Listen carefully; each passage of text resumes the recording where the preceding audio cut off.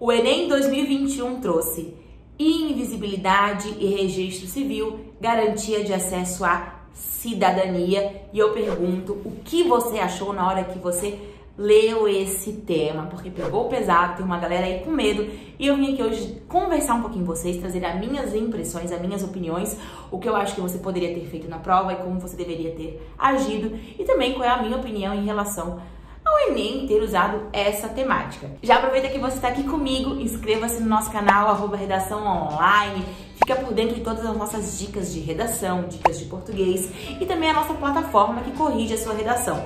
Inclusive, você pode mandar a sua redação, se você tem o seu rascunho da redação do Enem, você pode mandar pra gente lá na nossa plataforma e já adiantar qual será a nota da sua redação. E ficando aqui inscrito no canal, você sempre tem acesso e notificação de todos os vídeos novos que a gente traz e eu apareço aqui para vocês. Mas vamos lá, vamos falar de Enem 2021, que trouxe aí à tona, de fato, um assunto invisível, o registro civil. De acordo com tudo que eu li, os textos motivadores e um pouco que eu conversei com vocês via Instagram, né, os DMs que vocês mandaram, a galera ficou confusa em relação a qual era o tema, afinal, muitos estudantes, né, e principalmente o público de Enem, que é o público aí de 18, de 16, vamos lá, a 22, 24 anos, a média, né? Muitas vezes nem sabem a necessidade de usar os seus documentos de identificação. Porque o registro civil é o fato de você ter uma certidão de nascimento, alguém ter registrado que você nasceu, existe, é um cidadão e com isso tem direitos garantidos. Sujeitos básicos de cidadania, saúde, educação, moradia, são todos garantidos a quem é registrado. Porque é como se você não fosse registrado, você não existisse. E aí a gente entra num grande perigo, que muitas vezes nós vemos aqui quando estudamos possíveis temas e problemáticas para a redação do Enem, a gente estuda eixos da educação, eixos de saúde, eixo de cidadania, eixo é, de doenças mentais, eixo de cultura, eixo daqui, eixo dali, financeira, educação financeira, eixo de educação mas esse foi um tema que na verdade uniu todos. Por quê? Você não tem um problema financeiro se você nem existe para o seu país.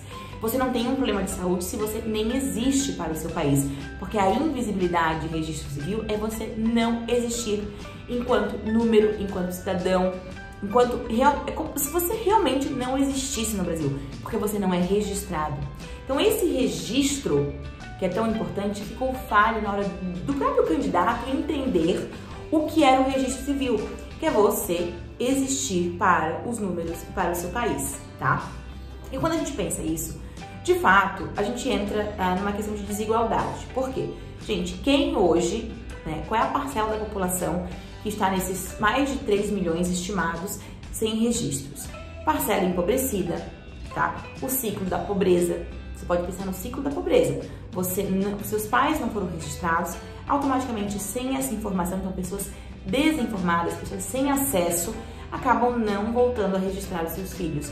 Pessoas sem acesso a em localidades remotas, por exemplo, também, que não conseguem ter acesso à informação, que não conseguem ter acesso até a esse registro, que não existem campanhas, o governo não vai lá e bate na porta de cada um e fala: "Nossa, me dá aqui o seu a sua data a sua certidão de nascimento, me dá aqui o seu RG, me dá aqui o seu CPF, isso é um CPF, isso é um RG, isso é um CPS, isso é um, um, um cadastro disso, um cadastro daquilo, o SUS. Não tem esse programa que chega e, e faz. Se você procurar uma assistência social, é possível. Mas se a pessoa não sabe que ela tem essa necessidade, não vai atrás. Então, o estudante, o candidato, ter entendido o que era esse registro civil deixou muita dúvida para mim se vocês não ficaram é, repetindo o ciclo de informação. Quando eu olho no geral, eu penso assim: quem é a população que sofre com esse problema. Então, população sem acesso à informação, sem acesso ao estudo e essa população à margem aí empobrecida, né? Depois a gente pensa quais são as consequências. As consequências é a falta de acesso, tá? A falta a gente pegar o artigo 6 da Constituição que fala dos direitos do cidadão, né? É, os direitos sociais, a pessoa que está sem registro, não tem direito à educação, saúde, moradia e etc. dos seus direitos sociais. Então ela não tem acesso à tal da cidadania. E aí a proposta traz a garantia. Como garantir esse acesso? Programas sociais, como garantir esse acesso? Que acesso? A gente pensar, vamos lá, simplesinho aqui. A gente pensar em ideia de vacinação em pandemia. Poderia ter sido muito bem argumentado lá dentro. Auxílio emergencial de 600 reais pegou as pessoas desprevenidas, principalmente de trabalho. E se você pensar que quem não tem documentação não tem também hoje um trabalho de carteira assinada, porque não tem carteira, tá? Não teve esse auxílio. Não poderia, por exemplo, ser vacinado pela pandemia. Então a gente tem uma Constituição que garante os direitos sociais, mas uma população à margem desses direitos sociais. Então, quando você olha isso tudo, parece super repetitivo, mas teria que ter nichado muito bem. Teria que ter realmente pontuado e planejado o seu texto para conseguir é, estruturar e não se repetir.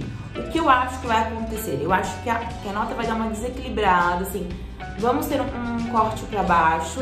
É, eu achei fantástico, mas acho que nós não temos hoje essa preparação a nível de ensino médio em todo o Brasil. Por isso eu tenho minhas restrições em relação ao tema. Eu gostei, eu achei o tema maravilhoso, tá? Agora eu acho que faltou esse preparo é, em relação a estudantes de ensino médio brasileiro, tá? Independente de você vir ou não é, estudando, se preparando, nós estamos falando de uma base nacional de estudantes, tá? Então acho que o Enem foi, foi, foi muito legal quando escolheu o tema, porém deixou a margem também dos os candidatos entenderem qual era esse propósito e o que de fato era. Acho que também os textos motivadores não foram os melhores explicitados aí e por isso a gente vai ter que ver isso depois em relação às notas, tá? Essa é a minha opinião é geral. Vou fazer um vídeo para vocês aqui, se vocês quiserem, também um vídeo de repertórios que eu usaria para essa redação, tá? Quais seriam as leis, quais seriam as citações, o que eu escreveria para ajudar vocês também, ver se a gente bate algumas ideias aí e, e consegue se ajudar pro próximo e fica a experiência, né? Passou, o Enem já acabou, a gente tem uma semana corrida aí até a nossa próxima prova, tá? Então, deixa isso pra lá, de lado nesse momento, corrija sua redação, descobre a sua nota, mas não fica mais se apegando ao que já passou. Vamos para a próxima etapa, nós temos mais uma maratona de provas, porque também os textos foram todos muito longos, uma prova bem cansativa, né? Então, até daqui a pouco, até o nosso próximo vídeo, vídeo de repertórios. Um beijo, não deixe de acompanhar a gente nos nossos canais, arroba Redação Online, tanto no Instagram quanto também no TikTok, cheio de vídeos para vocês. Botei vários é, TikToks lá falando também sobre o que eu colocaria na nossa redação desse tema que é tão polêmico e ao mesmo tempo um tema tão legal. Um beijo!